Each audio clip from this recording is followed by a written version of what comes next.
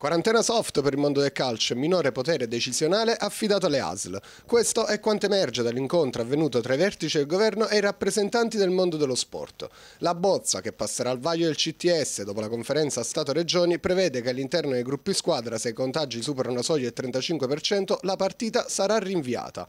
In sostanza, su una rosa calcistica di 25 calciatori, sono ammessi fino a 8 calciatori positivi. Se il numero dovesse risultare più alto, si procederà per il rinvio della gara gara.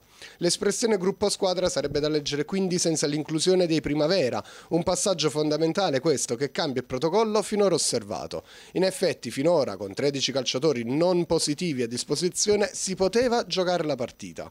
Cambia la questione della quarantena, infatti i cosiddetti contatti ad alto rischio adesso verranno sottoposti a tamponi antigenici giornalieri per almeno 5 giorni con l'obbligo di indossare la mascherina FFP2 in tutti i contesti non sportivi. Una decisione questa che verrà assunta a prescindere prescindere dallo stato vaccinale dei singoli calciatori. Ovviamente questo discorso si dovrebbe applicare anche agli altri campionati professionistici del mondo del calcio. In effetti la Serie B e la Lega Pro finora hanno preferito far slittare alcune giornate del proprio campionato per cercare di limitare il contagio tra club e per non alterare la regolarità dei campionati. Una misura assunta per evitare le polemiche come avvenute in Serie A, con le ASL pronte a bloccare interi gruppi squadra. Al tempo stesso, sul fronte degli stadi, anche la Serie B impone il limite di capienza consentito ai club di 5.000 spettatori per la diciannovesima giornata di andata e la prima giornata del girone di ritorno.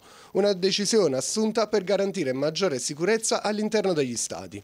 Discorso diverso per la Serie C, dove i vertici non si sono ancora espressi su eventuali limiti di capienza. Adesso si attende solo la conferma della ripresa della Lega Pro, prevista per il 23 gennaio, ma tutto dipenderà dalla curva epidemiologica tra i gruppi squadra, che al momento sembra essere in decrescita, con tanti giocatori che stanno tornando ad allenare dopo lunghi periodi di isolamento.